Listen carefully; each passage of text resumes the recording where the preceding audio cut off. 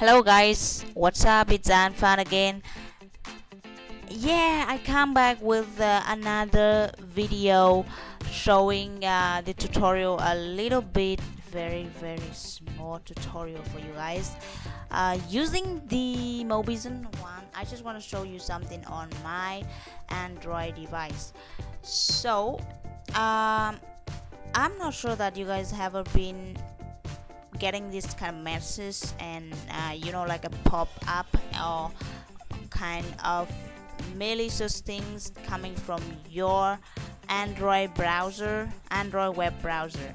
So uh, it is exactly here's what I've I've already foxed off that but I will show you right now uh, where it is and what is the app that has been affected so it is in the application. Um, what you need to do is to go and enable it again because I have just seen that and then I disable it already. But now I just wanna uh, enable it again just to show you guys this uh, kind of browser. So I want to enable it again okay? Um oh no. So it is it's like that. It's already enabled but it is already foxed up so it, it will not be working right now because it's already foxed up so the data transfer will not be through this browser. Uh, this browser also using a lots of app permissions which is I will make another video showing about the app permission and yeah maybe about like how to activate that. Um, so this kind of browser they have one uh, pop-up saying that happy music downloading happy music downloading. And every few hours they the pop-up is coming out. Again and again and it's very annoying. Even though I don't click on the link the file that is transfer from this browser I, did, I didn't know who transferred it. So I was thinking it is malicious or malware okay? So what I, what I did I do that time is to first of all clear the browser first. Don't click on the file. Clear all the browser cache and then go to setting.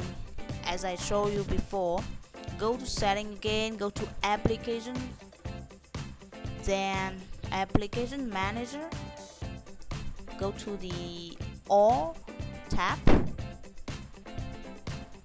here you found that the application names under the alphabet order. So I want to double click on that and then start. Yep it stop. Yeah click on force stop. And then uh, it will automatically force stop the browser doesn't work the data doesn't transfer anymore. But then I, I still feel I'm not sure that I have to disable this. But before disable this web uh, browser on mobile you have to understand that. Uh, let me show you why. Okay? Here I can disable it now because I already installed one another one which is Google Chrome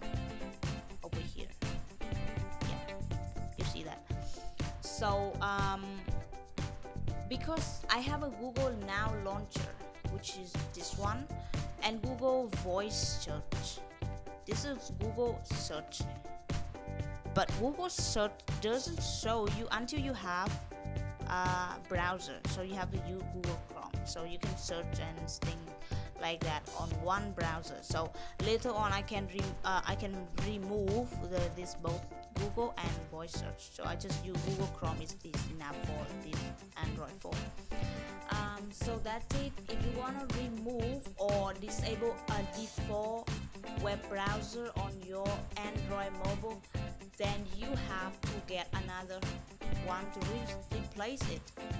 So it's just like that. Uh, but the notice is you have to do that because um, you don't want to be infected right? Because this browser I think is too old and nobody gonna update that. So it's better to use uh, yep. Another suggestion is it's better to use the application that has constantly update mean uh, like Google Chrome, Firefox, uh, or Opera Mini. Uh, yeah, that's it for today. Thanks for watching. I am Anh Phan, and yeah, did you want to think? Uh, you know that the this uh, how this kind of wallpaper is running uh, telling you that you can download it. The name of the wallpaper is in Nexus, like Google Nexus. So you can download the wallpaper, find it, and download it. Use that. Like cool. I would show you why it is cool. Look at this. You can make a lot of stuff on your Android phone anytime you want. Anytime you click or tap that it will become like a star. Thanks for watching. I am Anh Phan and hope to see you guys in other small tutorial videos. Thanks so much and don't forget to subscribe to my channel